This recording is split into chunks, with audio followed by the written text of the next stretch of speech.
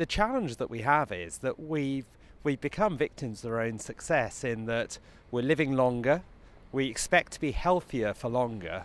And so the challenge is starting to shift from how do we get people better to how do we keep them well for longer. It's very telling amongst our clients that they no longer talk about the patient. They talk about the consumer of their medicines. And this is an indication as to how the problem has shifted towards making people better and instead keeping them well and raising the opportunity of, of not just medicines but becoming consumer companies along the way. The way we used to shop, especially for groceries, of going to the hypermarket out of town uh, for the last 10, 20 years, is, it's dying very rapidly. Why? Because convenience matters more than, than, than price.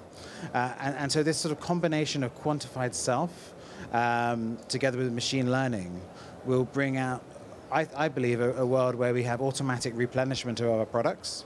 Uh, and that's going to make huge changes to both retail and also brands because the concept of what a brand is and why it's important will change. We hear a lot about the death of television and the number of people today who have come up to me and said, is, is there actually a future for television? And, and I, I don't know if I'm an evangelist about this, but I firmly believe there's a future for television. I'm, I'm passionate about the future for television. The one thing I would say is it may not be television as we know it, and it's slightly different to what we've experienced in the past. So what the audience is really doing is, is really stepping up and taking control of their TV experience. Right? They're deciding what they want to watch, how they want to watch it, on what devices they want to watch, and when they want to watch it, in a way that, that never happened before.